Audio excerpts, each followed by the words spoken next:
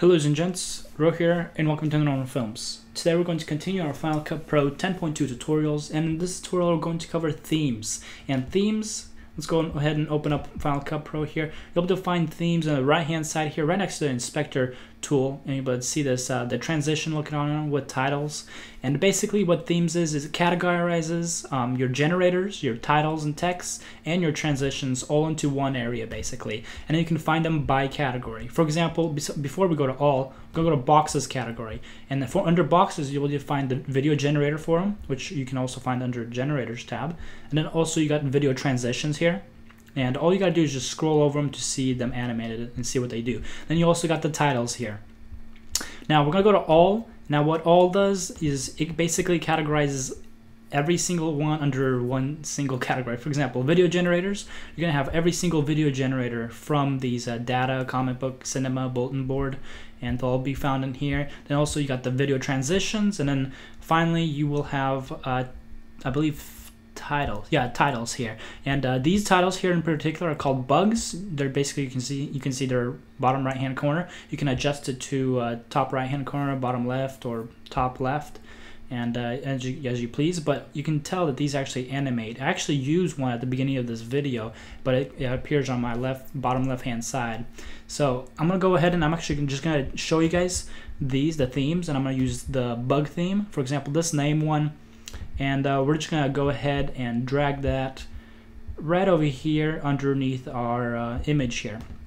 So we're gonna go ahead and drag it in. You can have it by itself if you want it as a, and you can even put it on an image. For example, you can have it by itself and it will be just a black background.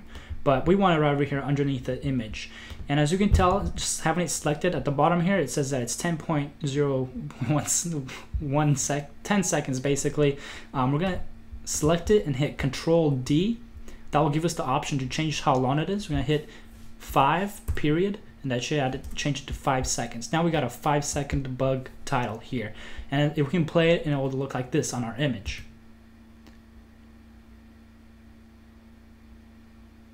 So it slides in and slides out, and it just says name. What we're gonna do is we're gonna put this main cursor right over the bug, that way we can edit it and see what we're editing.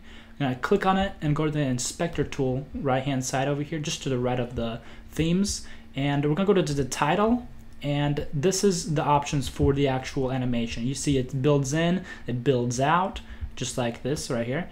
This is the build in and then this is the build out. We've got the theme blue. We're gonna actually change that to uh, the pink no I was hoping for red but let's just go with yellow for example as you can tell there we have it no that's too much. Let's go with green.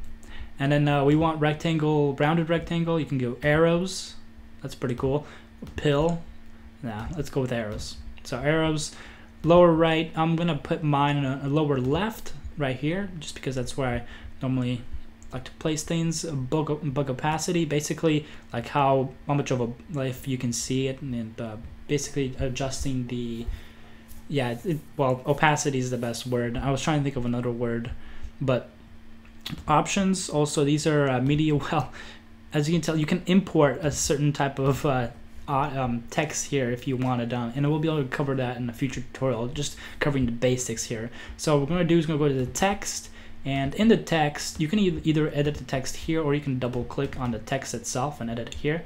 I'm just to edit it right here. I'm to put it test well, we don't want it all caps, test text. And as you can see, now we've got this little circle. We're to edit it around, adjust it a little bit, and put it on the title like right here. Now, the text itself still stays on it, as you can tell right there.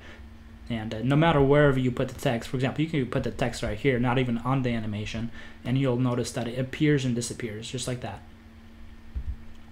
Now, uh, also we're going to adjust the text a little bit more. We're going to drag it back down here. And from here you can change the size of the text. You can make it bold, center it, and then also add 3D elements to it if you like. You could even make this te text rotate within those arrows as well, which would be even cooler. And then you can add an outline to it, even a glow. And then go to show. And then from here you can change the glow color. We're to change that glow to red and uh, we want the blur to increase that way you can see more of that red in radius so now you can tell that it's got a red outline in there And then drop shadow is not really important, but there we have it. We have the main text there. and uh, for the video portion, you don't really have to adjust anything here for it. Yeah, you it, only affects. There's like no not much video to it honestly.